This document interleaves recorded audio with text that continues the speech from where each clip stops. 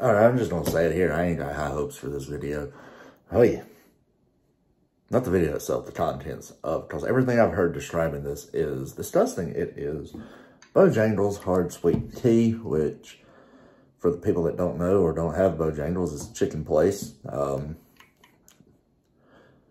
from the state where it originated, less than an hour away from their headquarters. This is legendary 5.0% alcohol by volume. Steeped like we mean it. Mean it. I thought it said minute, but it's mean it. Oh. Everything I have heard about this is disgusting. I want to try the Cheerwine drink. Proudly brewed by Appalachian Mountain Brewery. AMB, or ABM. AMB. I'm having a moment.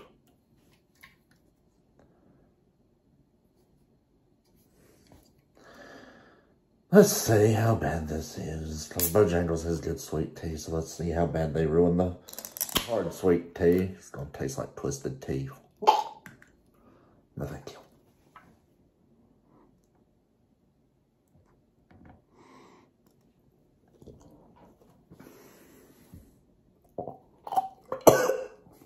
I don't even smell like sweet tea.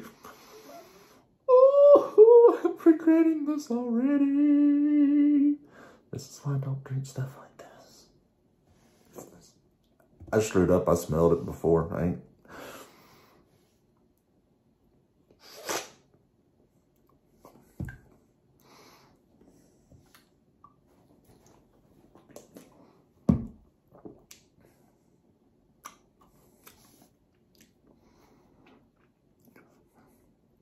It's not bad. It's not good. I would describe this like, oh, sucking on a tea bag with alcohol content. That's, that's what I would, yep.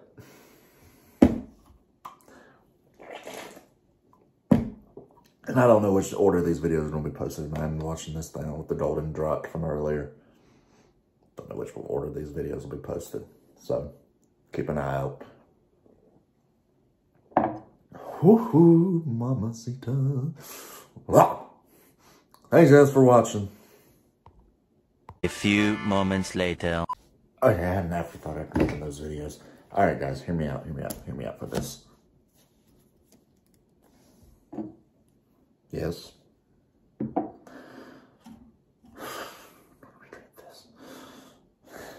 Hi.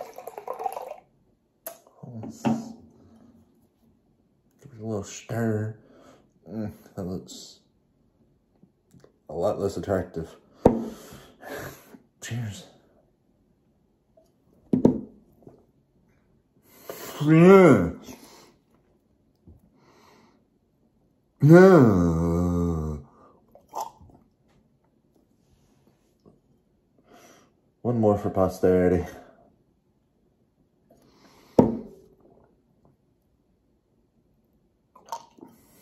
Nope. Uh-uh. Worst idea.